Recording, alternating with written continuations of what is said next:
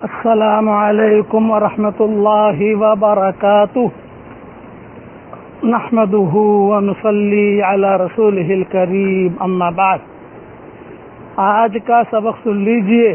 One zero four six بہت ہی اہم سبق ہے. کئی لوگ اس وقت میں ایسے ہیں ہم مسلمانوں میں، بلکہ اکثر. کہ ایسے لوگوں کا مقصود صرف مال کمانا اور دنیا کی اچھی زندگی گزارنا ہوتا ہے۔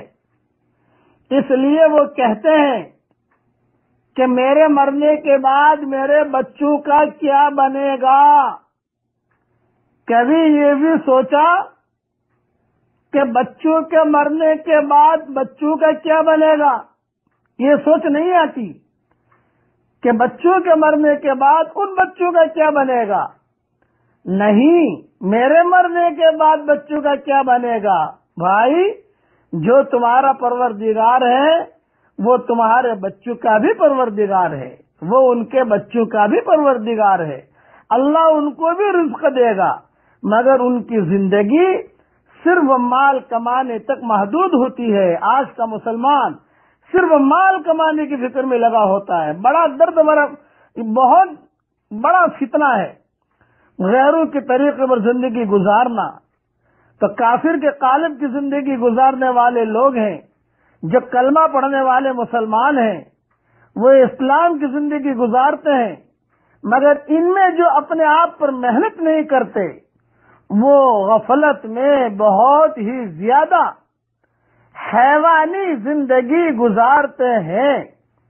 جب مال، پیسہ ان کے پاس ہو تو وہ اپنی عیاشیوں میں مشغول ہوتے ہیں۔ ان کو ٹی وی کے تماشے اچھے دکھتے ہیں۔ اسکرین کے تماشے دیکھنے کا شوق رہتا ہے۔ اور اپنی خواہشات کو پورا کرنا ان کا بھی مقصد بنا ہوتا ہے۔ ان کے بارے میں ہی علامہ اقبال نے کہا ہے، وضع میں تم ہو نسارا تو تمدن میں ہنود وضع میں تم ہو نسارا تو تمدن میں ہنود یہ مسلمان ہے جنہیں دیکھ کر شرمائے یہود۔ کیا یہ مسلمان ہیں؟ کہ یہودی دیکھ کر شرما جاتے ہیں کیا نام کے مسلمان ہوتے ہیں۔ مگر ان کی باتیں، ان کا لباس، ان کا اٹھنا بیٹھنا، وہ سارے کا سارا غیروں کے مانند ہوتا ہے۔ حضور صلی اللہ علیہ وسلم نے فرمایا ہے من تشبہ بقوم فهو منهم ابو داود میں یہ حدیث ہے کہ جس نے جس قوم سے مشابہت اختیار کی، وہ انہی میں سے شمار کیا جائے گا۔ اللہ تعالی ہم سب کی بری مشابہت سے ہم سب کی اللہ حفاظت فرمائے۔ نفس امارہ کے مارے لوگ ہیں۔ آج کا مسلمان نفس امارہ کا مارا ہوا ہے۔ یہ نفس امارہ والے لوگ ہیں۔ جنہوں نے اپنے نفس پر محنت نہیں کی ہوتی، بلکہ وہ اپنے نفس کی چاہتوں کو پورا کرنے کے لیے صبح شام لگے ہوئے ہوتے ہیں۔ علامہ اقبال کہا کرتے تھے اور روتے بھی تھے، یوں تو سید بھی ہو، مرزا بھی ہو افغا بھی ہو، یوں تو سید بھی ہو، مرزا بھی ہو۔ افغا بھی ہو، تم سبھی کچھ ہو، بتاؤ مسلمان بھی ہو، فرقہ بندی ہے کہیں اور کہیں ذاتے ہیں، کیا زمانے میں پنپنے کی یہی باتیں ہیں؟ کہنے کو مسلمان ہوتے ہیں، لیکن آپس میں جھگڑے ہوتے ہیں۔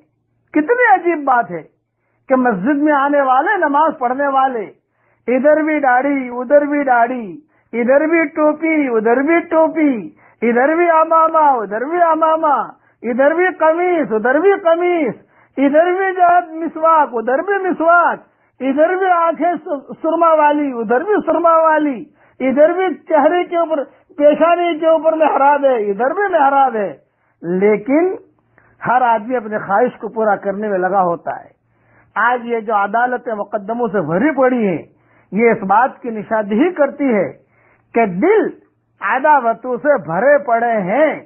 جب دل عداوتوں سے بھر جاتے ہیں تو اللہ تعالیٰ ان دلوں کو نہیں دیکھا کرتا۔ یہ ذہن میں رکھنا۔ پھر اللہ اس اس, اس دل کو نہیں دیکھتا۔